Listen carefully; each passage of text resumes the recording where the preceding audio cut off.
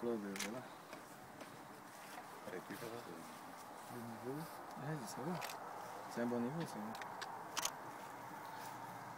Λοιπόν, ε, πραγματικά είναι ένας πολύ καλός σύλλογος. Είμαι ιδιαίτερα ευτυχής, ιδιαίτερα χαρούμενος που βρίσκομαι εδώ. Ε, Μέχρι στιγμής όλα είναι εξαιρετικά, είναι όλα εντάξει.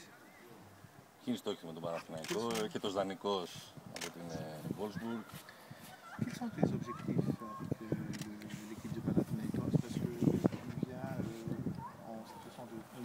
de paix euh, de Wolfsburg. Alors, quelles sont